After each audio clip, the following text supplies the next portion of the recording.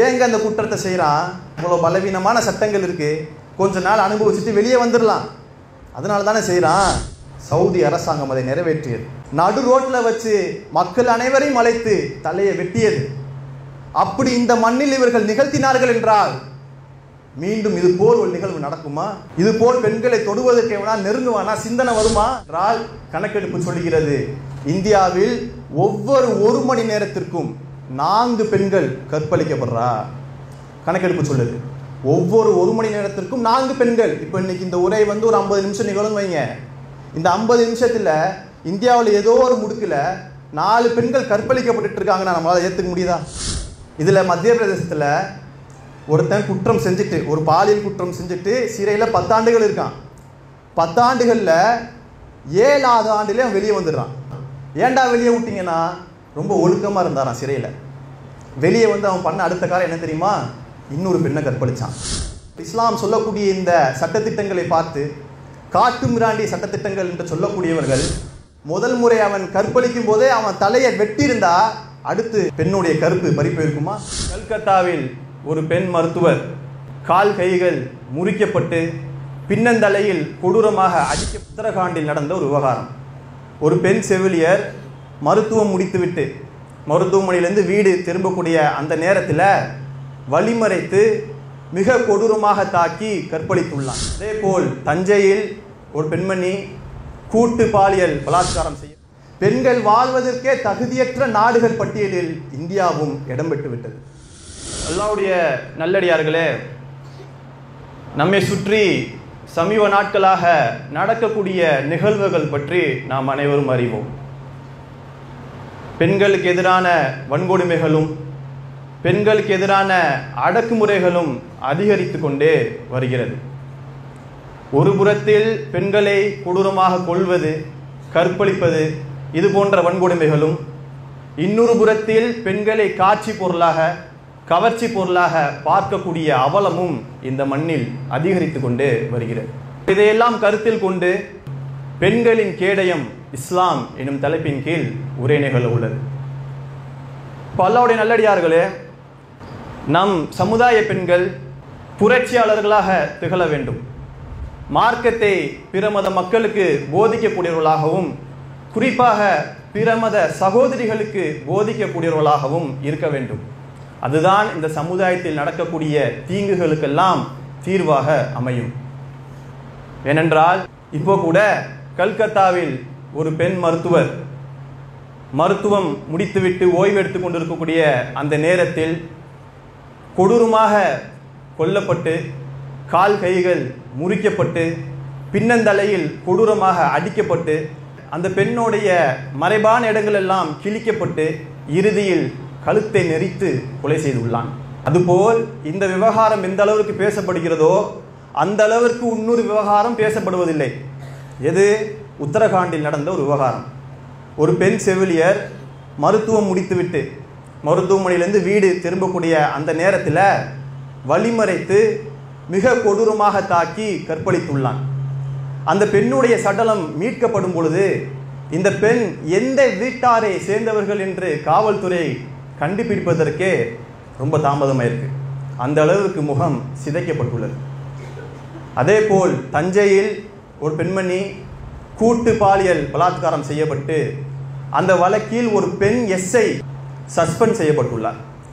அதே போல ஒரு மாணவி பாலியல் வன்கொடுமைக்கு ஆளாகி அதன் பிறகு விசாரிக்கும் பொழுது பதிமூணு மாணவிகள் பாலியல் துன்புறுத்தலுக்கு நாங்கள் ஆளாகப்பட்டோம் என்று அப்போ இதையெல்லாம் பார்க்கும் பொழுது எதை நோக்கி நம்முடைய சமுதாயம் பயணித்துக் கொண்டிருக்கிறது?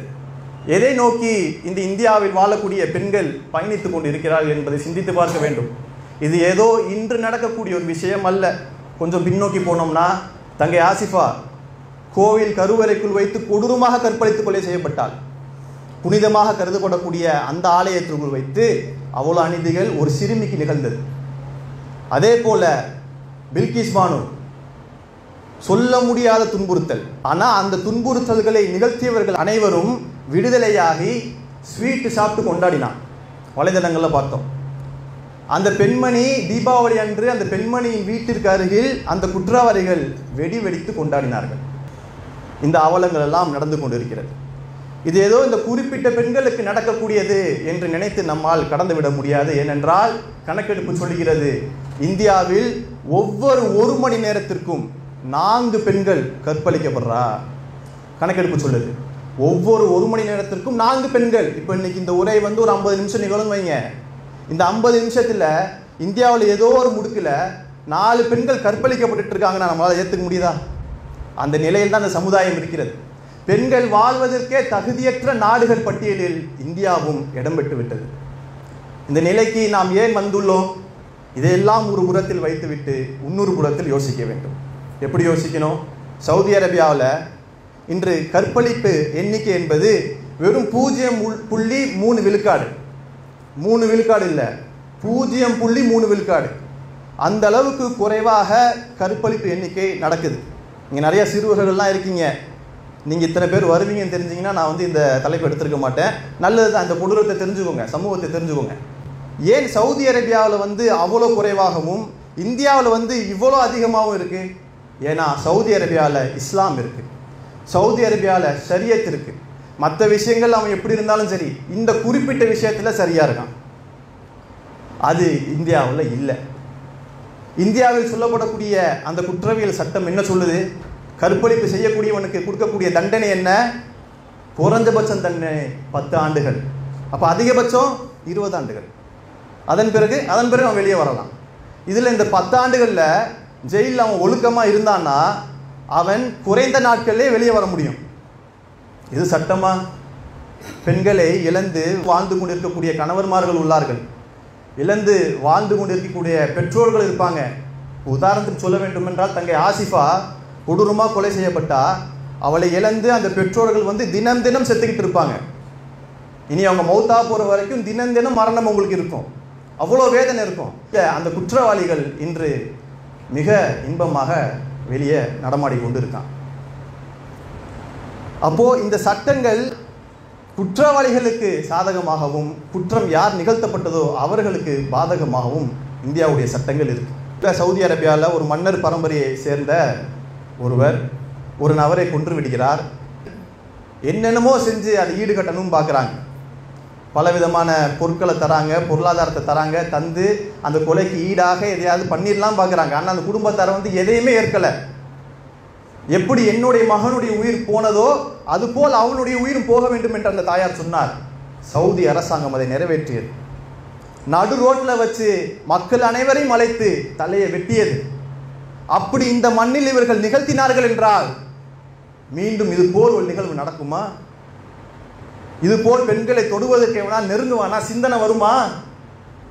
ஏங்க அந்த குற்றத்தை செய்கிறான் ஏன் செய்கிறான் இவ்வளோ பலவீனமான சட்டங்கள் இருக்குது கொஞ்ச நாள் அனுபவிச்சுட்டு வெளியே வந்துடலாம் அதனால தானே செய்கிறான் இதில் மத்திய பிரதேசத்தில் ஒருத்தன் குற்றம் செஞ்சுட்டு ஒரு பாலியல் குற்றம் செஞ்சுட்டு சிறையில் பத்தாண்டுகள் இருக்கான். பத்தாண்டுகளில் ஏழாவது ஆண்டுலேயே அவன் வெளியே வந்துடுறான். பத்தாண்டு சிறை தண்டனை ஏழு வெளியே வந்துடுறான். ஏன்டா வெளியே விட்டிங்கன்னா? ரொம்ப ஒழுக்கமாக இருந்தாரான் சிறையில். வெளியே வந்து அவன் பண்ண அடுத்த காலம் என்ன தெரியுமா? இன்னொரு பெண்ணை கற்பழிச்சான்.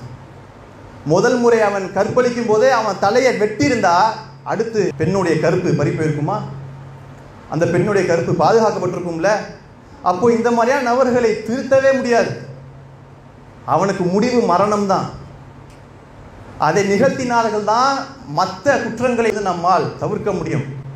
இஸ்லாம் சொல்லக்கூடிய இந்த சட்டத்திட்டங்களை பார்த்து காட்டு மிராண்டி சட்டத்திட்டங்கள் என்று சொல்லக்கூடியவர்கள் எது உண்மையான காட்டு மிராண்டி என்று சிந்தித்து பார்க்க வேண்டும். இஸ்லாம் யாருடைய பார்வையிலிருந்து ஒரு குற்றத்தை பார்க்குது? குற்றவாளியின் பார்வையிலிருந்து பார்க்காது.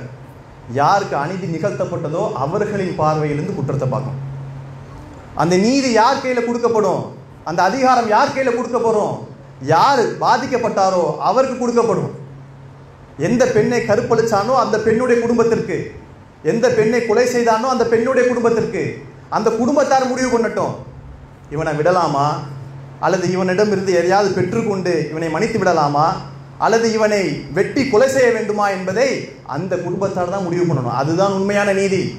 யார் பாதிக்கப்பட்டார்களோ அவர்கள் சொல்வது தான் சரியான நீதியாக இருக்கும். அப்படிப்பட்ட நீதியை நடைமுறைப்படுத்தக்கூடிய ஒரே மார்க்கம் இஸ்லாம். அந்த மாதிரியான கடுமையான சட்டங்களை நடைமுறைப்படுத்தும் பொழுதுதான் தண்டனைகள் நிச்சயமாக குறையும். அதனால தான் இஸ்லாம் என்பது பெண்களின் கேடயமாக இருக்கிறது என்று நான் சொல்கிறேன்